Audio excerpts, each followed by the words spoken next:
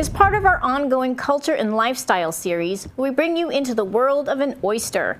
PAC TV Community News was invited inside Duxbury's Island Creek Oyster Company to learn more about this shellfish, a tasty addition to our cuisine.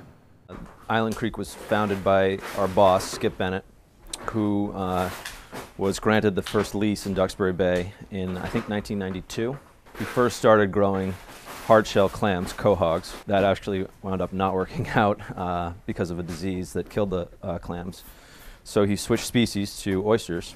Uh, a couple of years after that, I think in the mid 90s, it worked basically, and uh, it worked really well. And, and then he started growing a lot of them. And then his problem was that he had to figure out a way to get rid of them to sell them. He basically went pounding on chef's doors, uh, mostly in Boston, but on the South Shore here too and they sort of caught fire, and uh, and the sh chefs turned out to really love them, and um, so now we have a, a national business. We FedEx oysters overnight all over the country.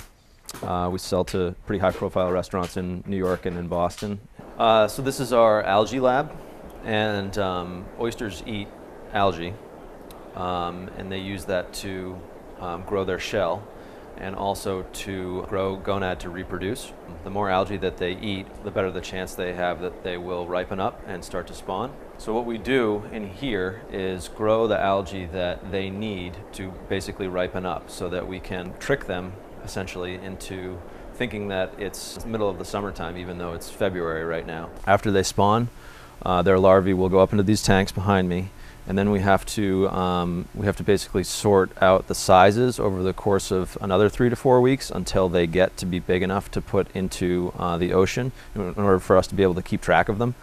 Uh, because when they're in these tanks, they're literally uh, microscopic, so they're you know only microns big. So um, it's just a, there's a period there where we're really um, taking care of them and have a very watchful eye over them. I grow algae for baby oysters to eat and also algae for our adult male and female broodstock.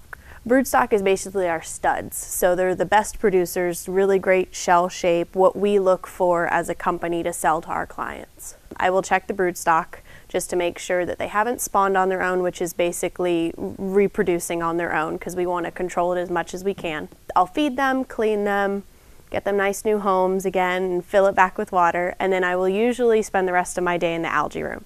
So I grow monoorganisms to feed oyster larvae and also the brood stock.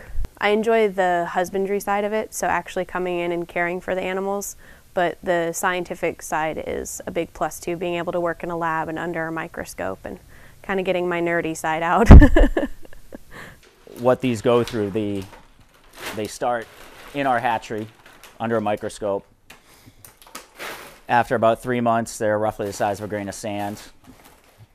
Six months, they're anywhere from quarter inch to an inch and a half. And then at the end of 18 months, this is, this is what you have here. So it's, it's kind of an amazing process, you know, in that Cliff Notes version. What we look for in this final check is, you know, very nice deep cup.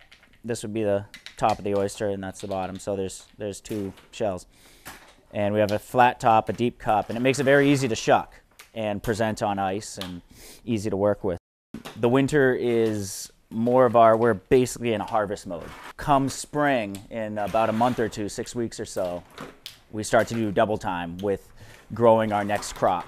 So we're always harvesting, continuing this process. Once we get to that point, you spin it, you zip it, tag it, and then it's done.